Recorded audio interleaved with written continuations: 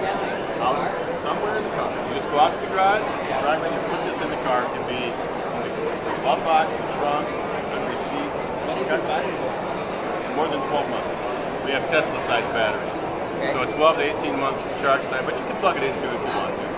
Since we have LTE, an IoT modem, a Cat 1M modem, and GPS, you can reach it anywhere, track it anywhere. As a benefit, as a boost. So now you've got that done in a few minutes. Now you have this capability. We're set up with this one already, so I'm going to control this one. Bluetooth low energy. Oh, so you can use Bluetooth as well.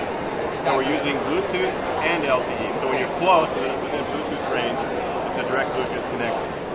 When you get out of range and you can't reach the phone, then, it's, then it reaches to the server. Right. So you barely ever use LTE, and it's like probably a dollar a month or something.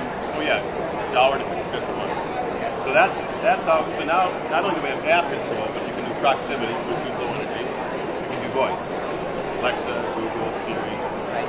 So it's you've modernized this old interface and taken away any range restrictions. You brought it to the voice into the app. yeah, for, for a smart speaker. Right. Okay. Because we're going to integrate the platform. We're going to expose APIs from our platform.